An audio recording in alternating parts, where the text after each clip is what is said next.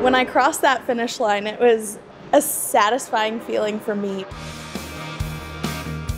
We went into the last lap in, I think, ninth place. Came out of turn four and a hole opened up in the middle and my spotter told me, he's like, don't go three wide, don't go three wide. And it was a full send moment for me. and I did go three wide and cross the finish line in fifth place. But it was so exciting.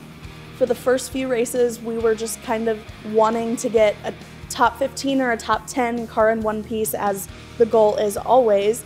But now it's, we're looking at Talladega and saying we want a top five. And we're really wanting to be a strong contender for the Rookie of the Year and the ARCA Menard Series. So those expectations have shifted because we know we have the resources, we know we have the car to be able to accomplish these. And Daytona was a huge confidence builder for us. My first weekend here at Rose-Hulman, I had a race to go out of town for. My race was televised, so several of the residence halls got together and did watch parties. And I came back Monday morning, and nearly everyone I passed congratulated me, and they were like, hey, when's the next one? And it was just a cool experience.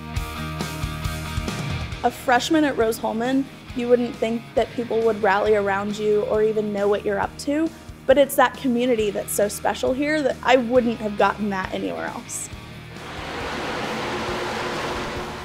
I know that Rose has a long-standing history in racing, with the Hulmans owning Indianapolis Motor Speedway until about 2019, and all of that racing history with Tony Hulman and of course Tim Cindric who is very successful in racing. For me to be able to continue that is huge.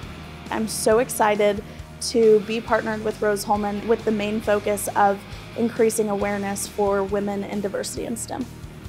Being an engineering student at Rose-Hulman has incredibly advanced my career. I've been able to go back to my team and come up with innovative ideas that I learned in the classroom and can apply to help further our technology on our cars.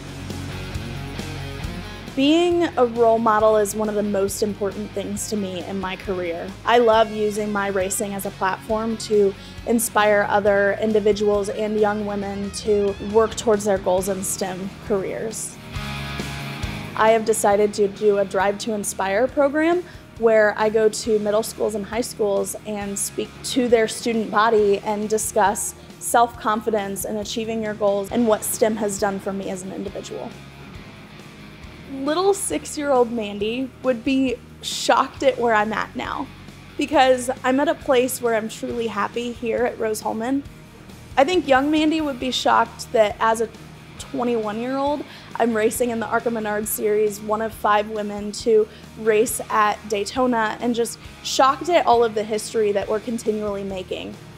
One of the big things that we learned recently was that I am only one of four women drivers who have finished top five at Daytona in the ARCA Menard series in their 60 year history, which is huge.